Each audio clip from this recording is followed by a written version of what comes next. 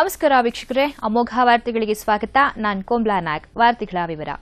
Doctor G. Parameshwar ಕೆಪಿಸಿಸಿಗೆ ಮರು ನೇಮಕವಾದ ಹಿನ್ನೆಲೆಯಲ್ಲಿ ತುಮಕೂರಿನಲ್ಲಿ ಕಾರ್ಯಕರ್ತರು ಸಂಭ್ರಮಾಚರಣೆ ನಡೆಸಿದರು.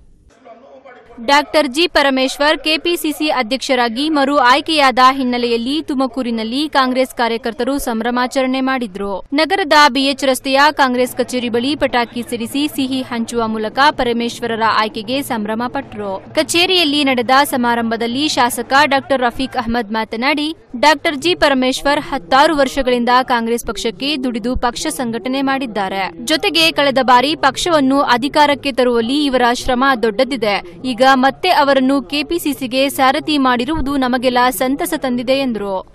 ರಾಜ್ಯದಲ್ಲಿ ಕಾಂಗ್ರೆಸ್ ಸರ್ಕಾರ ಸಾಕಷ್ಟು ಅಭಿವೃದ್ಧಿ ಕಾರ್ಯ ಮಾಡಿದೆ. ಜೊತೆಗೆ ಹಲವು ಜನಪರ ಯೋಜನೆಗಳನ್ನು ಜಾರಿಗೊಳಿಸಿದೆ. ಡಾಕ್ಟರ್ ಜಿ ಪರಮೇಶ್ವರ್ ಗೃಹ ಸಚಿವರಾಗಿ ಉತ್ತಮ ಕೆಲಸ ಮಾಡಿದ್ದಾರೆ. ಕೆಪಿಸಿಸಿ ಅಧ್ಯಕ್ಷರಾಗಿ ಸಮರ್ಥರಾಗಿ ಪಕ್ಷವನ್ನು ಮುನ್ನಡೆಸಿದ್ದಾರೆ. ಕಾಂಗ್ರೆಸ್ ಹೈಕಮಾಂಡ್ ಮತ್ತೆ ಪರಮೇಶ್ ಅವರನ್ನು ಮರು ಆಯ್ಕೆ ಮಾಡಿದೆ. ರಾಜ್ಯದಲ್ಲಿ ಪರಮೇಶ್ವರ್ ಮತ್ತು ಸಿದ್ದರಾಮಯ್ಯ ನೇತೃತ್ವದಲ್ಲಿ ಎರಡು ಸಾವಿರದ ಹದಿನೆಂಟರ ಚುನಾವಣೆಯಲ್ಲಿ ಪಕ್ಷ ಭರ್ಜರಿ ಜಯಭೇರಿ ಬಾರಿಸಲಿದೆ. ಕಾಂಗ್ರೆಸ್ ಮತ್ತೆ ಅಧಿಕಾರ ಹಿಡಿಯಲಿದೆ ಎಂದು ಹೇಳಿದರು.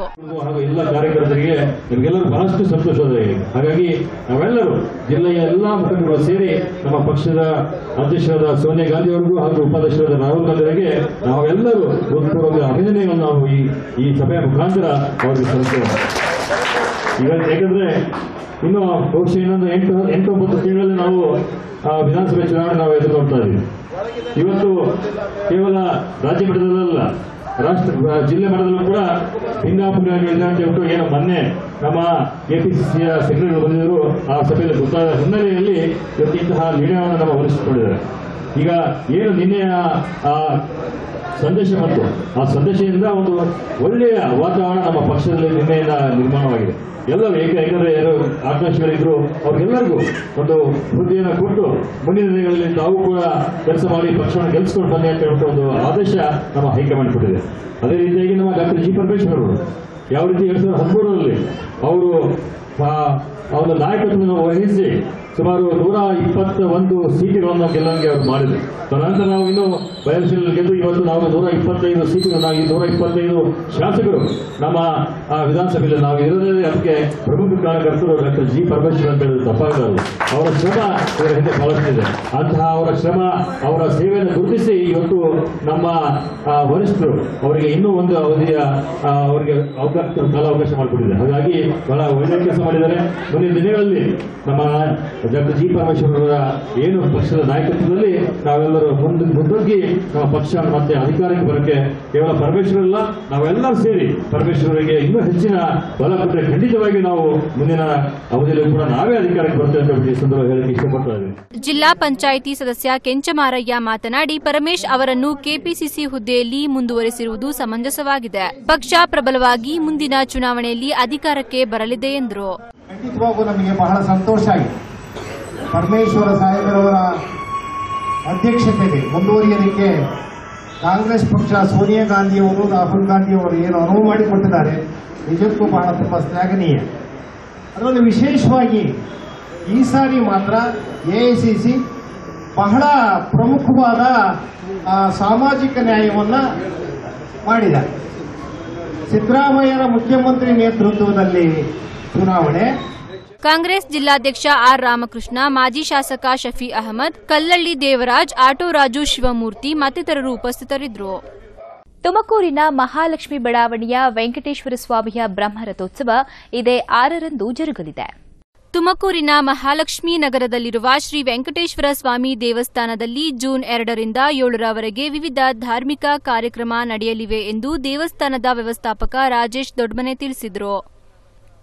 ನಗರದಲ್ಲಿ ಸುದ್ದಿಗೋಷ್ಠಿಯಲ್ಲಿ ಮಾತನಾಡಿ ದೇವಸ್ಥಾನದಲ್ಲಿ ಆರು ದಿನ ಪೂಜಾ ಕಾರ್ಯಕ್ರಮ ಜರುಗಲಿವೆ. ಡಾಕ್ಟರ್ ಶಿವಕುಮಾರ್ ಸ್ವಾಮೀಜಿ ವೀರೇಶಾನಂದ ಸರಸ್ವತಿ, ಡಾಕ್ಟರ್ ಶಿವಾನಂದ ಶಿವಾಚಾರ್ಯರು ಸಾನ್ನಿಧ್ಯ ವಹಿಸಲಿದ್ದಾರೆ ಎಂದರು. ಜೂನ್ ನಾಲ್ಕರ ಭಾನುವಾರ ರಾಜಗೋಪುರ ಕಳಸ ಪ್ರತಿಷ್ಠಾಪನೆ, ಐದರಂದು ಗರುಡೋತ್ಸವ ಮತ್ತು ಕಲ್ಯಾಣೋತ್ಸವ, ಆರರಂದು ಹದಿಮೂರನೇ ವರ್ಷದ ಶ್ರೀ ವೆಂಕಟೇಶ್ವರ ಸ್ವಾಮಿಯ ಬ್ರಹ್ಮರಥೋತ್ಸವ ಅದ್ದೂರಿಯಾಗಿ ನಡೆಯಲಿವೆ. ಜೊತೆಗೆ ಸ್ವಾಮಿಯ ಮೆರವಣಿಗೆ ರಾಜಬೀದಿಗಳಲ್ಲಿ ಸಾಗಲಿದೆ ಎಂದರು. ಏಳರಂದು ಸ್ವಾಮಿಗೆ ಸುಪ್ರಭಾತ ಸೇವೆ, ನಿತ್ಯವಿಧಿ ಆರಾಧನೆ, ಹೋಮ, ಮಹಾಭಿಷೇಕ, ಶೇಷವಾಹನೋತ್ಸವ, ಪ್ರಸಾದ ವಿತರಣೆ ಕಾರ್ಯಕ್ರಮ ಜರುಗಲಿದೆ. ಎಂದು ಹೇಳಿದರು.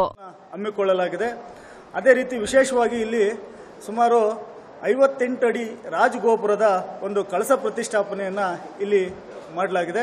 ಇಲ್ಲಿ ವಿಶೇಷವಾಗಿ ಇಲ್ಲಿ ಸಾನ್ನಿಧ್ಯವನ್ನು ಡಾಕ್ಟರ್ ಶ್ರೀ ಶ್ರೀ ಡಾಕ್ಟರ್ ಶಿವಕುಮಾರ್ ಸ್ವಾಮೀಜಿಗಳು, ಅದೇ ಥರ ವೀರೇಶಾನಂದ ಸ್ವಾಮೀಜಿಯವರು ಹಾಗೂ ಶಿವಾನಂದ ಸ್ವಾಮೀಜಿಯವರು, ಈ ಮೂರು ಸ್ವಾಮೀಜಿಯವರು ಒಟ್ಟಿಗೆ ಸೇರಿಕೊಂಡು ಈ ಒಂದು ಪ್ರತಿಷ್ಠಾಪನೆಯಲ್ಲಿ ಭಾಗವಹಿಸ್ತಾ ಇದ್ದಾರೆ. ಅದೇ ರೀತಿ ಇಲ್ಲಿ ವಿಶೇಷವಾಗಿ ಆರು ಮ, ಆರು ಆರನೇ ತಾರೀಕು, ಆರು ಆರು ಎರಡು ಸಾವಿರದ ಹದಿನೇಳನೇ ಮಂಗಳವಾರ ಬೆಳಿಗ್ಗೆ ಹನ್ನೊಂದು ಮೂವತ್ತಕ್ಕೆ ಹದಿಮೂರನೇ ವರ್ಷದ ವೆಂಕಟೇಶ್ವರ ಸ್ವಾಮಿ ದೇವಸ್ಥಾನದ ಒಂದು ಬ್ರಹ್ಮ ರಥೋತ್ಸವವನ್ನು ಏರ್ಪಡಿಸಲಾಗಿದೆ. ಇಲ್ಲಿ ವಿಶೇಷವಾಗಿ ಶ್ರೀ ಸ್ವಾಮಿಗೆ ವಜ್ರ ಕಿರೀಟ ಶಂಕುಚಕ್ರ ಮತ್ತು ವಿಶೇಷ ಹೂವಿನ ಒಂದು ಅಲಂಕಾರವನ್ನು ಏರ್ಪಡಿಸಲಾಗಿದೆ. ಅದೇ ರೀತಿ ದಿನಾಂಕ ಐದು ಆರು ಎರಡು ಸಾವಿರದ ಹದಿನೇಳನೇ ಸೋಮವಾರ ಬೆಳಿಗ್ಗೆ ಏಳು ಮೂವತ್ತಕ್ಕೆ ಸುಪ್ರಭಾತ ಸೇವೆಯಿಂದ ಪ್ರಾರಂಭವಾಗಿ ರಕ್ತ ಬಂಧನ ಅಗ್ನಿ ಪ್ರತಿಷ್ಠೆ, ಧ್ವಜಾರೋಹಣ, ಬೆಳಗ್ಗೆ ಹನ್ನೊಂದು ಗಂಟೆಗೆ ರಾಜಬೀದಿಗಳಲ್ಲಿ ಶ್ರೀ ಸ್ವಾಮಿಯ ಗರುಡೋತ್ಸವ ಮತ್ತು ಸಂಜೆ ಆರು ಮೂವತ್ತಕ್ಕೆ ಕಲ್ಯಾಣೋತ್ಸವವನ್ನು ಏರ್ಪಡಿಸಲಾಗಿದೆ. ತದನಂತರ ದಿನಾಂಕ ಆರು ಆರು ಎರಡು ಸಾವಿರದ ಹದಿನೇಳನೇ ಬೆಳಗ್ಗೆ ಏಳು ಮೂವತ್ತರಿಂದ ಪ್ರತಿದಿನ ಸುಪ್ರಭಾತ ಸೇವೆಯಿಂದ ಪ್ರಾರಂಭವಾಗಿ ಶ್ರೀ ಸ್ವಾಮಿಯ ರಾಜಬೀದಿಯಲ್ಲಿ ಹನ್ನೊಂದು ಮೂವತ್ತಕ್ಕೆ ಒಂದು ಬ್ರಹ್ಮ ರಥೋತ್ಸವವನ್ನು ಏರ್ಪಡಿಸಲಾಗಿ ಅದೇ ರೀತಿ ಮಧ್ಯಾಹ್ನ ಹನ್ನೆರಡು ಮೂವತ್ತು ಗಂಟೆಗೆ ಒಂದು ಅನ್ನ ಸಂತರ್ಪಣೆಯನ್ನು ಏರ್ಪಡಿಸಲಾಗಿದೆ. ಅದೇ ರೀತಿ ಸಂಜೆ ಆರು ಮೂವತ್ತಕ್ಕೆ ಒಂದು ಹನುಮಂತೋತ್ಸವ, ಒಂದು ಉತ್ಸವವನ್ನು ಕೂಡ ನಾವು ರಾಜಬೀದಿಯಲ್ಲಿ ಸ್ವಾಮಿ ಮಹಾಲಕ್ಷ್ಮಿ ವೆಂಕಟೇಶ್ವರ ಸ್ವಾಮಿ ರಾಜಬೀದಿಗಳಲ್ಲಿ ಅದನ್ನು ಮಾಡಲಾಗ್ತದೆ. ಅದೇ ರೀತಿ ದಿನಾಂಕ ಏಳು ಆರು ಎರಡು ಸಾವಿರದ ಹದಿನೇಳನೇ ಬುಧವಾರ ಬೆಳಿಗ್ಗೆ ಏಳು ಮೂವತ್ತಕ್ಕೆ ಸುಪ್ರಭಾತ ಸೇವೆಯಿಂದ ಪ್ರಾರಂಭವಾಗಿ ಬೆಳಿಗ್ಗೆ ಹತ್ತು ಗಂಟೆಗೆ ಶೇಷ ವಾಹನೋತ್ಸವ ಹನ್ನೊಂದು ಗಂಟೆಗೆ ಚಕ್ರಸ್ನಾನ, ಅದೇ ರೀತಿ ಸಂಜೆ ಎಂಟು ಗಂಟೆಗೆ ಶಯನೋತ್ಸವ ಮಹಾಮಂಗಳಾರತಿ ಇದರಿಂದ ಮುಕ್ತಾಯ ಮಾಡಲಾಗ್ತಿದೆ. ಇಲ್ಲಿ ದೇವಸ್ಥಾನದ ಸೇವಾಕರ್ತರಾದ ಪರಮೇಶ್, ರವಿಕುಮಾರ್, ಅನಿಲ್ ಕುಮಾರ್, ಸುಮಂತ್ ಇತರರು ಸುದ್ದಿಗೋಷ್ಠಿಯಲ್ಲಿದ್ದರು ತುಮಕೂರಿನ ಸರ್ಕಾರಿ ಪದವಿ ಪೂರ್ವ ಕಾಲೇಜು ಆವರಣದಲ್ಲಿ Tumakuru merchants co operative bank ಶಾಲಾ ಮಕ್ಕಳಿಗೆ ಶೌಚಾಲಯ ನಿರ್ಮಿಸಲು ಮುಂದಾಗಿದೆ. ತುಮಕೂರಿನ ಸರ್ಕಾರಿ ಪದವಿ ಪೂರ್ವ ಕಾಲೇಜು ಆವರಣದಲ್ಲಿ Tumakuru merchants co operative bank ವತಿಯಿಂದ ಶಾಲಾ ಮಕ್ಕಳಿಗಾಗಿ ಶೌಚಗೃಹ ನಿರ್ಮಿಸಲು ಮುಂದಾಗಿದೆ. ಬ್ಯಾಂಕಿನ ಅಧ್ಯಕ್ಷ ಎನ್ಎಸ್ ಜಯಕುಮಾರ್ ನೇತೃತ್ವದಲ್ಲಿ ಶಾಸಕ ಡಾಕ್ಟರ್ ರಫೀಕ್ ಅಹಮದ್, ಮಾಜಿ ಸಂಸದ ಜಿಎಸ್ ಬಸವರಾಜು ಮತ್ತಿತರ ಗಣ್ಯರ ಸಮ್ಮುಖದಲ್ಲಿ ಶೌಚಗೃಹಕ್ಕಾಗಿ ಗುದ್ದಲಿ ಪೂಜೆಯನ್ನು ನೆರವೇರಿಸಲಾಯಿತು. ಈ ಸಂದರ್ಭದಲ್ಲಿ ಅಧ್ಯಕ್ಷ ಜಯಕುಮಾರ್ ಮಾತನಾಡಿ ಜಿಲ್ಲಾ ಕೇಂದ್ರದಲ್ಲಿರುವ ಸರ್ಕಾರಿ ಪದವಿ ಪೂರ್ವ ಕಾಲೇಜಿನಲ್ಲೇ ವಿದ್ಯಾರ್ಥಿಗಳಿಗೆ ಶೌಚಾಲಯ ವ್ಯವಸ್ಥೆ ಇಲ್ಲದಿರುವುದು ನಿಜಕ್ಕೂ ಬೇಸರ ಉಂಟಾಗಿದೆ, ಎಂದರು. ಜಿಲ್ಲಾ ಕೇಂದ್ರ ಸ್ಥಳದಲ್ಲೇ ಇಂತಹ ಸ್ಥಿತಿ ಇರಬೇಕಾದರೆ ಇನ್ನು ಗ್ರಾಮಾಂತರ ಪ್ರದೇಶದ ಶಾಲೆಗಳ ಸ್ಥಿತಿ ಹೇಳುವ ಅವಶ್ಯಕತೆಯೇ ಇಲ್ಲವೆಂದು ಹೇಳಿದರು. ತಮ್ಮ ಬ್ಯಾಂಕ್ ಸಾರ್ವಜನಿಕರಿಗೆ, ವಿದ್ಯಾರ್ಥಿಗಳಿಗೆ, ಅಂಧರಿಗೆ ಸೇವೆ ಸಲ್ಲಿಸಲು ಮುಂದಾಗಿದ್ದು, ಮಹಾತ್ಮ ಗಾಂಧಿ, ಅಟಲ್ ಬಿಹಾರಿ ವಾಜಪೇಯಿ ಇವರ ಮಾರ್ಗದರ್ಶನದಿಂದ ತಾವು ಸಮಾಜ ಸೇವೆಯಲ್ಲಿ ತೊಡಗಿರುವುದಾಗಿ ಜಯಕುಮಾರ್ ತಿಳಿಸಿದರು. ಈ ಸಂದರ್ಭದಲ್ಲಿ ಮುಖಂಡರುಗಳಾದ ಜ್ಯೋತಿ ಗಣೇಶ್ ಧನಿಯಾ ಕುಮಾರ್ ಡಿಡಿಪಿಐ ಮಂಜುನಾಥ್ ಸೇರಿದಂತೆ ಅಧಿಕಾರಿಗಳು ಗಣ್ಯರು ಪಾಲ್ಗೊಂಡಿದ್ದರು. ಗಿಡ ನೆಟ್ಟು ಪರಿಸರ ಉಳಿಸಿ ಎಂಬ ಆಶಯದಲ್ಲಿ ಮದುವೆ ಸಮಾರಂಭದಲ್ಲಿ ಅತಿಥಿಗಳಿಗೆ ತಾಂಬೂಲದ ಬದಲು ಗಿಡ ನೀಡಲಾಯಿತು. ಮದುವೆಗೆ ಬರುವ ಹಿರಿಯರು ವಧುವರರಿಗೆ ಆಶೀರ್ವಾದ ಮಾಡಿ ಕಷ್ಟಾಸುಖ ಹಂಚಿಕೊಂಡು ಆದರ್ಶ ದಾಂಪತ್ಯ ನಡೆಸಿ ಎಂದು ಹರಸುವುದು ವಾಡಿಕೆ. ಆದರೆ ತುಮಕೂರಿನಲ್ಲಿ ನಡೆದ ಮದುವೆಯಲ್ಲಿ ಹರಸಲು ಬಂದವರಿಗೆ ವಧುವರರು ಗಿಡ ಕೊಟ್ಟು ಬೆಳೆಸಿ ಪರಿಸರ ಉಳಿಸಿ ಎಂದು ಹೇಳಿದರು. ಕೊರಟಗೆರೆ ತಾಲೂಕು ಜಿ ನಾಗೇನಹಳ್ಳಿಯ ನರಸಿಂಹಮೂರ್ತಿ ಅವರ ಪುತ್ರ ನಂದಕುಮಾರ್ ಹಾಗೂ ಸೌಮ್ಯಾರವರ ವಿವಾಹ ಸಮಾರಂಭ ತುಮಕೂರಿನ ಕಲ್ಯಾಣ ಮಂಟಪದಲ್ಲಿ ನಡೆಯಿತು. ಬುಧವಾರ ಸಂಜೆ ನಡೆದ ಆರ್ತಾಕ್ಷತೆಗೆ ಬಂದಿದ್ದವರು ವಧುವರರಿಗೆ ಮುಯ್ಕೊಟ್ಟು ಆಶೀರ್ವಾದ ಮಾಡಿದರು. ವಧುವರರು ಬಂದವರಿಗೆ ಗಿಡ ಕೊಟ್ಟು ಗಿಡಗಳನ್ನು ಬೆಳೆಸಲು ಮನವಿ ಮಾಡಿದರು. ಮಾರನೆಯ ದಿನ ಮುಹೂರ್ತಕ್ಕೆ ಬಂದವರಿಗೂ ಸಹ ತಾಂಬೂಲದ ಬದಲು ಗಿಡ ಕೊಟ್ಟರು. ಪ್ರತಿಯೊಬ್ಬರೂ ತಮ್ಮ ಮನೆ ಬಳಿ ಕಡ್ಡಾಯವಾಗಿ ಗಿಡ ಮರ ಬೆಳೆಸಿ ಪರಿಸರ ಸಮತೋಲನ ಕಾಪಾಡಬೇಕು ಎಂಬ ಆಶಯದಿಂದ ವರ ನಂದಕುಮಾರ್ ತಂದೆ ಕೋಟಗಿರಿಯ ನರಸಿಂಹಮೂರ್ತಿ ಅವರು ಮದುವೆಗೆ ಬಂದವರಿಗೆ ಗಿಡ ಕೊಡಲು ತೀರ್ಮಾನ ಮಾಡಿದರು. ಎಲ್ಲ ಮದುವೆಗಳಲ್ಲೂ ಇಂತಹ ಪದ್ಧತಿ ಅನುಸರಿಸಬೇಕು. ಕೊಟ್ಟ ಗಿಡಗಳನ್ನು ಕಡ್ಡಾಯವಾಗಿ ನೆಟ್ಟು ಪೋಷಿಸಬೇಕು ಎಂದು ನರಸಿಂಹಮೂರ್ತಿ ಮನವಿ ಮಾಡಿದರು. ರೈತರಿಗೆ ವಿವಿಧ ಇಲಾಖೆಗಳಿಂದ ಸಸಿಗಳನ್ನು ಉಚಿತವಾಗಿ ನೀಡಲಾಗುತ್ತದೆ. ಅವುಗಳನ್ನು ಪಡೆದು ತಮ್ಮ ಜಮೀನುಗಳಲ್ಲಿ ಬೆಳೆಸಬೇಕು. ಪರಿಸರ ನಾಶವಾದರೆ ಮುಂದೆ ನೀರು, ಗಾಳಿಗೂ ತೊಂದರೆ ಆಗುತ್ತದೆ ಎಂದು ಮದುವೆಗೆ ಬಂದ ಗಿಡಪಡಿದ ಸಂಬಂಧಿಗಳಿಗೂ ಅಭಿಪ್ರಾಯ ವ್ಯಕ್ತಪಡಿಸಿದರು. ಕಾಂಗ್ರೆಸ್ ನಾಯಕರ ಧೋರಣೆಗೆ ಬೇಸತ್ತು ತುಮಕೂರು ಗ್ರಾಮಾಂತರ ಬ್ಲಾಕ್ ಕಾಂಗ್ರೆಸ್ ಅಧ್ಯಕ್ಷ ರಾಮಸ್ವಾಮಿ ಗೌಡರು ಶಾಸಕ ಸುರೇಶ್ ಗೌಡರ ಸಮ್ಮುಖದಲ್ಲಿ ಬಿಜೆಪಿ ಸೇರಿದರು. ಸಂಸದ ಎಸ್ಪಿ ಬುಧನ್ಮೇಗೌಡರ ಚಿತಾವಣೆಯಿಂದಾಗಿ ತುಮಕೂರು ಎಪಿಎಂಸಿ ಅಧ್ಯಕ್ಷ ಸ್ಥಾನ ಕೈತಪ್ಪಿತ್ತು. ಇದರಿಂದ ಬೇಸತ್ತು ಬ್ಲಾಕ್ ಕಾಂಗ್ರೆಸ್ ಅಧ್ಯಕ್ಷ ಸ್ಥಾನಕ್ಕೆ ರಾಜೀನಾಮೆ ನೀಡಿ ಶಾಸಕ ಸುರೇಶ್ ಗೌಡರ ಸಮ್ಮುಖದಲ್ಲಿ ಬಿಜೆಪಿಗೆ ಸೇರ್ಪಡೆ ಆಗುತ್ತಿರುವುದಾಗಿ ಟಿಆರ್ ರಾಮಸ್ವಾಮಿಗೌಡ ಪ್ರಕಟಿಸಿದರು. ತುಮಕೂರಿನಲ್ಲಿ ಸುದ್ದಿಗೋಷ್ಠಿಯಲ್ಲಿ ಮಾತನಾಡಿದ ರಾಮಸ್ವಾಮಿಗೌಡರು ಕಳೆದ ನಲವತ್ತೈದು ವರ್ಷಗಳಿಂದ ನಿರಂತರವಾಗಿ ಕಾಂಗ್ರೆಸ್ನಲ್ಲಿ ಸೇವೆ ಸಲ್ಲಿಸಿ ವಿವಿಧ ಹುದ್ದೆಗಳಲ್ಲಿ ಕಾರ್ಯನಿರ್ವಹಿಸುವ ಮುಖೇಣ ಪಕ್ಷಕ್ಕೆ ನಿಷ್ಠೆ ತೋರಿಸಿಕೊಂಡು ಬಂದಿದ್ದಾಗಿ ರಾಮಸ್ವಾಮಿಗೌಡ ಹೇಳಿದರು. ಮುದ್ದನ್ಮೇಗೌಡರು ನನ್ನ ವಿರುದ್ಧ ನಿರಂತರವಾಗಿ ಚಿತಾವಣೆ ಮಾಡಿಕೊಂಡೇ ಬಂದಿದ್ದು ರಾಜಕೀಯವಾಗಿ ಬೆಳೆಯುವುದನ್ನ ಸಂಸದರು ಸಹಿಸುತ್ತಿಲ್ಲವೆಂದರು. ಜಿಲ್ಲಾ ಉಸ್ತುವಾರಿ ಸಚಿವ ಟಿಬಿ ಜಯಚಂದ್ರ ಮುಖೇನ ತುಮಕೂರು ಎಪಿಎಂಸಿ ಅಧ್ಯಕ್ಷ ಸ್ಥಾನ ಸ್ವೀಕರಿಸುವ ಸಂದರ್ಭದಲ್ಲೇ ಸಂಸದರು ತಮ್ಮ ಪ್ರಭಾವ ಬೀರಿ ಅಧ್ಯಕ್ಷ ಸ್ಥಾನ ಸಿಗದಂತೆ ಮಾಡಿಕೊಂಡರೆಂದು ರಾಮಸ್ವಾಮಿಗೌಡ ಆರೋಪಿಸಿದರು. ಎಪಿಎಂಸಿಯಲ್ಲಿ ಕಾಂಗ್ರೆಸ್ ಪಕ್ಷದವರಿಗಿಂತ ಜೆಡಿಎಸ್ನವರಿಗೆ ಸಂಸದರು ಮಣೆ ಹಾಕಿದ್ದು. ಇದನ್ನ ನೋಡಿದರೆ ಮುಂದೆ ಕಾಂಗ್ರೆಸ್ ತೊರೆದು ಜೆಡಿಎಸ್ ಸೇರುವ ಸಾಧ್ಯತೆ ಇದೆ ಎಂದು ತಿಳಿಸಿದರು. ಪ್ರಧಾನಿ ಮೋದಿ ಹಾಗೂ ಶಾಸಕ ಬಿ. ಸುರೇಶ್ ಗೌಡರ ಅಭಿವೃದ್ಧಿ ಕಾರ್ಯ ಮೆಚ್ಚಿ ಬಿಜೆಪಿ ಸೇರ್ಪಡೆ ಆಗುತ್ತಿರುವುದಾಗಿ ರಾಮಸ್ವಾಮಿಗೌಡರು ಹೇಳಿದರು. ಪ್ರಾಮಾಣಿಕವಾಗಿ ಮತ್ತು ನಿಷ್ಠಾವಂತನಾಗಿ ಕಾಂಗ್ರೆಸ್ ಪಕ್ಷಕ್ಕೆ ಸೇವೆ ಸಲ್ಲಿಸ್ಕೊಂಡ್ಬಂದೆ. ಜೊತೆಗೆ ತಮ್ಗೆಲ್ರಿಗೂ ಗೊತ್ತಿದೆ, ನಾನು ತಾಲೂಕ್ ಪಂಚಾಯತಿ ಅಧ್ಯಕ್ಷನಾಗಿ ಕೂಡ ಸೇವೆ ಮಾಡಿದ್ದೀನಿ. ಮಂಡ ಅದಕ್ಕೂ ಮುಂಚೆ ಮಂಡಲ ಪಂಚಾಯತಿ ಸದಸ್ಯನಾಗಿ, ತುಮಕೂರು ಜಿಲ್ಲಾ ಸಹಕಾರ ಕೇಂದ್ರ ಬ್ಯಾಂಕಿನ ನಿರ್ದೇಶಕನಾಗಿ, ಎರಡು ಬಾರಿ ಎ ಸದಸ್ಯನಾಗಿ ಕೂಡ ನಾನು ನಾನು ಸಾರ್ವಜನಿಕರ ಪರವಾಗಿ ಕೆಲಸ ಮಾಡಿದ್ದೇನೆ. ಸುಮಾರು ಇಪ್ಪತ್ತೈದು ವರ್ಷಗಳ ಕಾಲ ನಾನು ಮಿಲ್ಕ್ ಯೂನಿಯನ್ ಹಾಲು ಉತ್ಪಾದಕ ಸಹಕಾರ ಸಂಘದ ಅಧ್ಯಕ್ಷನಾಗಿ ಸೇವೆ ಮಾಡಿದ್ದೇನೆ.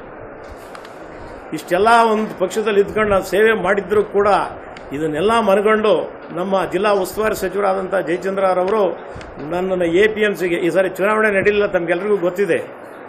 ಕೊರಟಗೆರೆ ಮತ್ತು ತುಮಕೂರು ಬೈಫರ್ಕೇಷನ್ ಆಯಿತು. ನಾನು ಆ ಕಾಪಿ ಕೊಡ್ತೀನಿ ತಮಗೆ.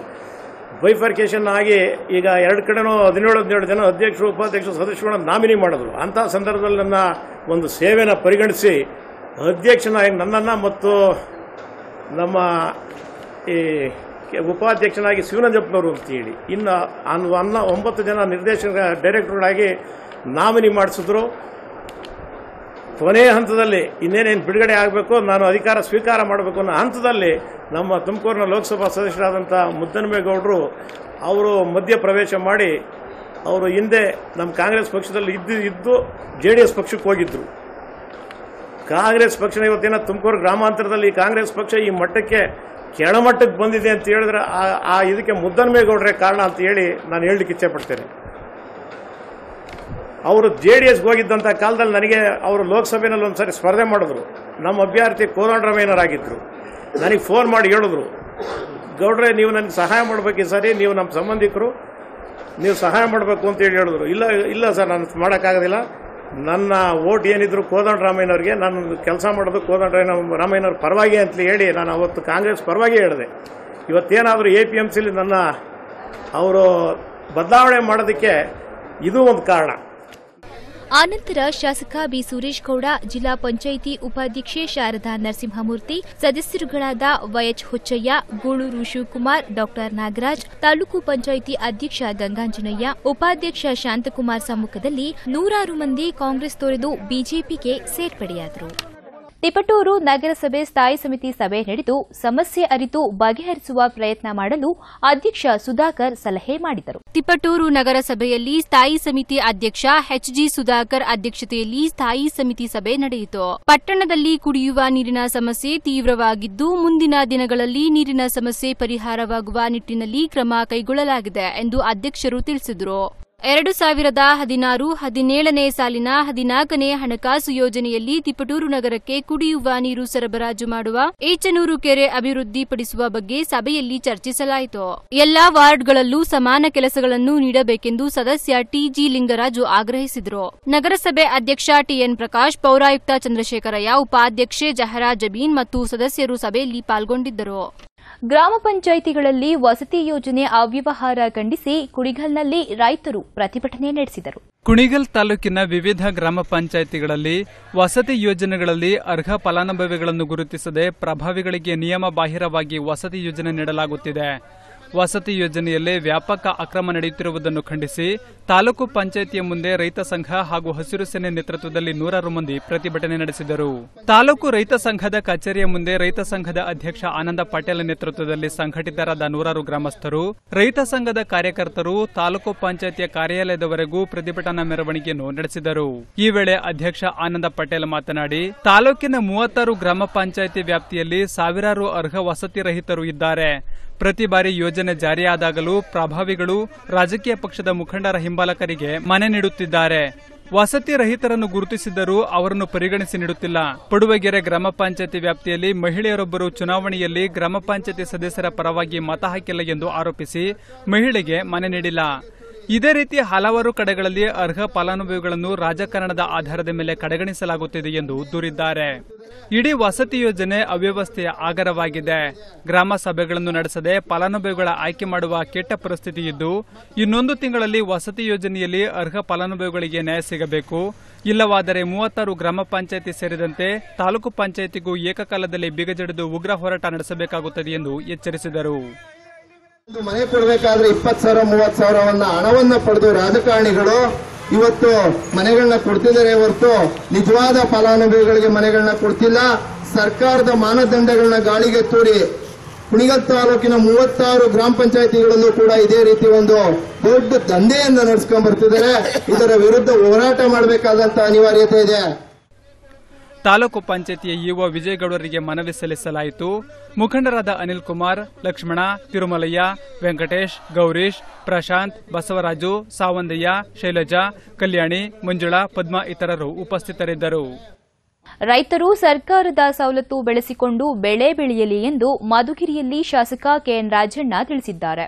ಮುಂದಿನ ಮುಂಗಾರು ಪ್ರಾರಂಭವಾಗುವ ಮುಂಚಿತವಾಗಿ ರೈತರಿಗೆ ಬಿತ್ತನೆ ಬೀಜ ಮತ್ತು ರಸಗೊಬ್ಬರ ಹಾಗೂ ಔಷಧಿ, ಕೃಷಿ ಉಪಕರಣಗಳನ್ನು ರೈತರ ಮನೆ ಬಾಗಿಲಿಗೆ ತಲುಪಿಸಬೇಕು ಎನ್ನುವ ಉದ್ದೇಶದಿಂದ ಸಾಂಕೇತಿಕವಾಗಿ ಗುಣಮಟ್ಟದ ಬಿತ್ತನೆ ಬೀಜಗಳಾದ ಶೇಂಗಾ, ಜೋಳದ ಬಿತ್ತನೆ ಬೀಜವನ್ನು ಕರ್ನಾಟಕ ಬೀಜ ನಿಗಮದ ವತಿಯಿಂದ ರಿಯಾಯಿತಿ ದರದಲ್ಲಿ ವಿತರಣೆ ಮಾಡಲಾಗುವುದು.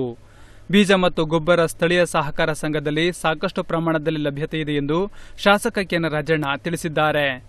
ಮಧುಗಿರಿಯಲ್ಲಿ ರಿಯಾಯಿತಿ ದರದಲ್ಲಿ ರೈತರಿಗೆ ಬಿತ್ತನೆ ಬೀಜ ಮತ್ತು ರಸಗೊಬ್ಬರ ವಿತರಿಸಿ ಮಾತನಾಡಿ, ತಾಲೂಕಿನಲ್ಲಿ ಒಂಬತ್ತು ವಿತರಣಾ ಕೇಂದ್ರ ಪ್ರಾರಂಭಿಸಿದ್ದೇವೆ. ಹದಿನಾರು ಸಾವಿರ ಹೆಕ್ಟೇರ್ ಪ್ರದೇಶದಲ್ಲಿ ಶೇಂಗಾ ಬೆಳೆಯಲಾಗುತ್ತಿದೆ. ಕ್ವಿಂಟಾಲ್ ಶೇಂಗಾಗೆ ಸಾವಿರದ ಐದುನೂರು ರೂಪಾಯಿ ಮತ್ತು ಪರಿಶಿಷ್ಟ ಜಾತಿ ಮತ್ತು ಪರಿಶಿಷ್ಟ ಪಂಗಡದವರಿಗೆ ಎರಡು ಸಾವಿರದ ಇನ್ನೂರ ಐವತ್ತು ರೂಪಾಯಿ ರಿಯಾಯಿತಿ ದರದಲ್ಲಿ ಸರ್ಕಾರ ನಿಗದಿ ಮಾಡಿದೆ. ರೈತರು ಪಹಣಿ, ಆಧಾರ್, ಜಾತಿ ಪ್ರಮಾಣ ಪತ್ರ, ಕೃಷಿ ಅಧಿಕಾರಿಗಳಿಂದ ಪತ್ರ ದಾಖಲಿಸಬೇಕು.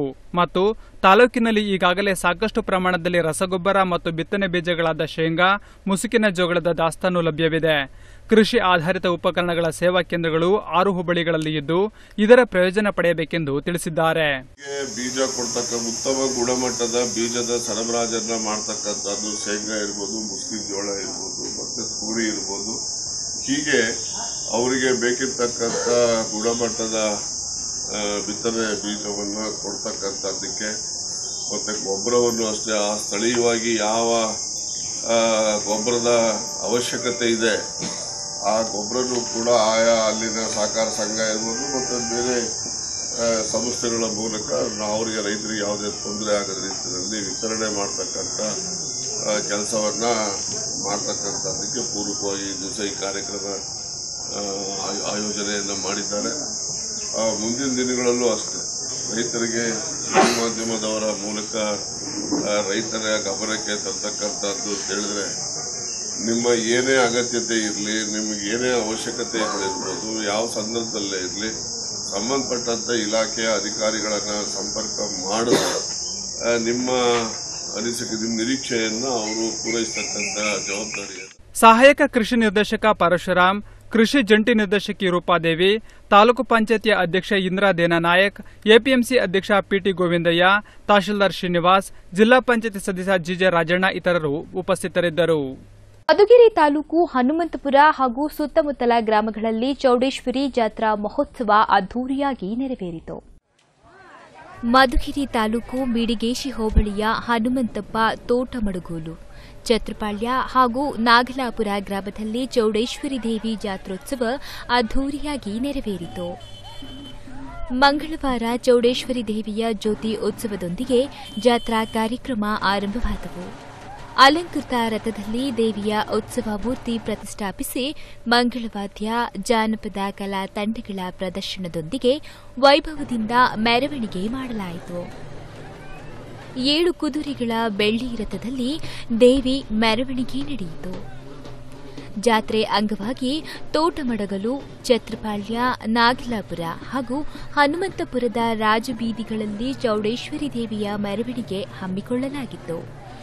ಬುಧವಾರ ನಾಲ್ಕು ಗ್ರಾಮಗಳ ಭಕ್ತರು ದೇವಿಗೆ ಆರತಿ ಸೇವೆ ಮಾಡಿದರು.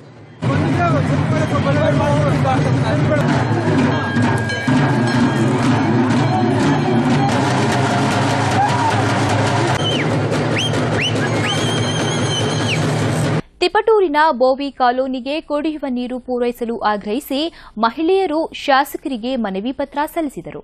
ತಿಪಟೂರಿನಲ್ಲಿ ಕುಡಿಯುವ ನೀರು ಒದಗಿಸಲು ಒತ್ತಾಯಿಸಿ ಮಹಿಳೆಯರು ಶಾಸಕರಿಗೆ ಮುತ್ತಿಗೆ ಹಾಕಿದ್ರು. ತಿಪಟೂರಿನ ಗಾಂಧಿನಗರದ ಬೋವಿ ಕಾಲೋನಿಯಲ್ಲಿ ಕುಡಿಯುವ ನೀರಿಗೆ ತುಂಬಾ ತೊಂದರೆ ಆಗಿದೆ.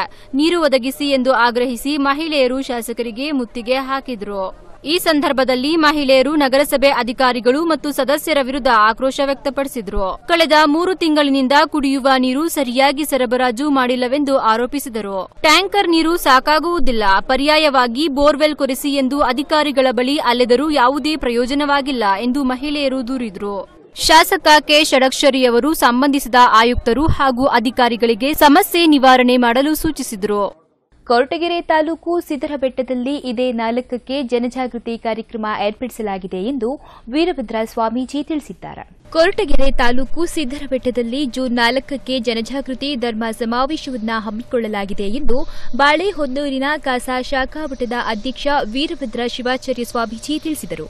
ಸುದ್ದಿಗೋಷ್ಠಿಯಲ್ಲಿ ಮಾತನಾಡಿದ ಅವರು, ವರ್ಷಕ್ಕೊಮ್ಮೆ ಭಕ್ತರನ್ನ ಬರಮಾಡಿಕೊಳ್ಳುವ ಉದ್ದೇಶದಿಂದ ಪ್ರತಿವರ್ಷ ವಿವಿಧ ಧಾರ್ಮಿಕ ಕಾರ್ಯಗಳನ್ನು ನಡೆಸುತ್ತಿರುವುದಾಗಿ ಹೇಳಿದರು. ಜೂನ್ ನಾಲ್ಕರಂದು ರೇಣುಕಾಚಾರ್ಯ ಜಯಂತಿ, ಬಸವೇಶ್ವರ ಜಯಂತಿ ಹಾಗೂ ಉಚಿತ ಸಾಮೂಹಿಕ ವಿವಾಹ ನಡೆಸಲಾಗುತ್ತಿದೆ ಎಂದು ಸ್ವಾಮೀಜಿ ತಿಳಿಸಿದರು. ಇದೇ ಸಂದರ್ಭದಲ್ಲಿ ಮಠದ ವತಿಯಿಂದ ಐದು ಸಾವಿರ ಸಸಿಗಳನ್ನ ವಿತರಿಸಲಾಗುವುದು ಎಂದರು. ಗೃಹ ಸಚಿವ ಡಾಕ್ಟರ್ ಜಿ ಪರಮೇಶ್ವರ್ ಉದ್ಘಾಟಿಸುವರು.